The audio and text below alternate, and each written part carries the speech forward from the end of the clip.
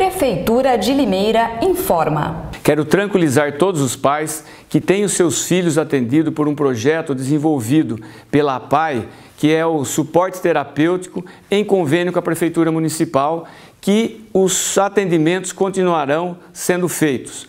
Houve uma pequena interrupção devido a um equívoco de informações e esse serviço será retomado amanhã, no mais tardar na quinta-feira.